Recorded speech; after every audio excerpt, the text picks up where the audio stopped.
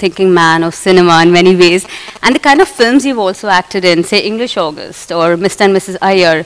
But when you see it on film or in, uh, read about it in a book, your education or perception of certain emotions, grief, or even love perhaps, you know, some of us may not even experience it to that scale, or a desire, for instance. It changes you perhaps on an individual level. But then from that individual level, how is it supposed to seep into the societal mindset? Is, I, I've always wondered about that. Is that something you think about? At least personally, I can talk of, I mean, let's look at cultures where, you know, there have been, there's been a deep history of art and literature and, uh, and, uh, and, um, and writing and cinema and compare that with cultures that don't.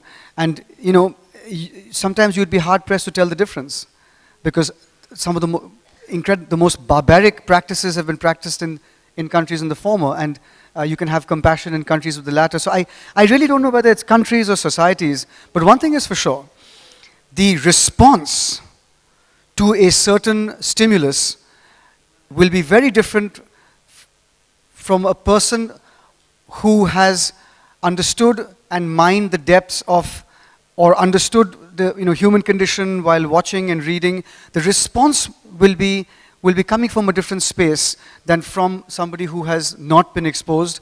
The chances of a person understanding what peace and what compassion and what love can do to further a humankind's evolution is greater from somebody who's been exposed to art. This is a slippery slope, but there is one piece of research that shows that boys who are exposed to the arts from a very young age uh, turn out to be less macho, less, uh, less bothered about um, patriarchy, and have a greater chance to be more gender, uh, uh gender sensitive. And so this is something that schools have, have, have uh, looked at uh, quite seriously in America. But I actually wanted to spend five minutes talking to you a little bit about the work I've done from books. was that interesting? I mean, okay, so I just thought I'll, you know, because I've if, if I may, Meghna, it won't take me more than three or four minutes. Um, three of them, English August, The Japanese Wife, and Midnight's Children are what immediately come to mind. So I'm just going to tell you about how different it can be from all three experiences, depending on what the book is. Um, generally, it's very safe to say that making a movie from a book is is a far better idea because screenplays don't spend that much time, that much rigor, that much uh, research into a sociocultural milieu, into motivations of the characters, etc. So you're always on a stronger wicket when you're adapting from a book. The voices are genuine. Every, everything that the characters seem to be doing seems to be coming from a place well thought out. Most screenplays don't. Um, in English August, the authorial view that in India you can be an Indian and yet be very, very foreign depending which part of the country you go to. The authorial view is echoed from by the character. So when I was playing uh, uh, Agastya, I was actually very happy to read the book and absorb the authorial view because that's the view that he was also understanding and experiencing. With, um, with Midnight's Children, the authorial view is, there is an authorial view, but you can see that here the author is more interested in focusing on a time. You get to know about a socio-cultural milieu, the predicaments characters are put in.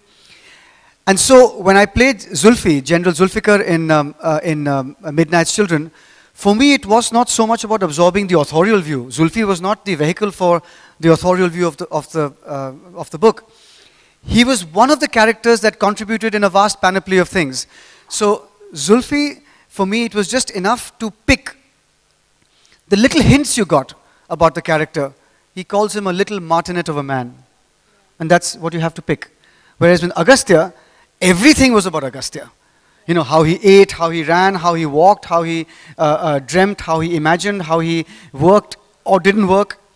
So sometimes uh, you, you have to look for whatever you get which might not be in great detail. And finally, in The Japanese Wife, it's a short story. And in short stories, most often you propel the events along. You're telling a story. You can't muse about, you know, somebody's characterization. You can't muse about somebody's personality for, for pages and pages. So then And I found that the most interesting because you had to fill in gaps. You had to find things that he would say about the character to serve the narrative. He flew the kite and his right hand bled, so you knew he was a right hander. You know what I mean? So it was things like that. And so you began to piece together a character, and then you also added your imagination that would plausibly tie point A to point B to point C to point D. And of course, Aparna wrote a wonderful screenplay, uh, and Kunal and, she, and Kunal Basu and she uh, collaborated on it. So three sort of very different different experiences. I just wanted to sort of share that that it's um, it's not always that a book trans for you is to say, oh, read the book, learn the character, do the film. No, in some the the representation of who your character is, you'll have, you'll have to pick different things from different books.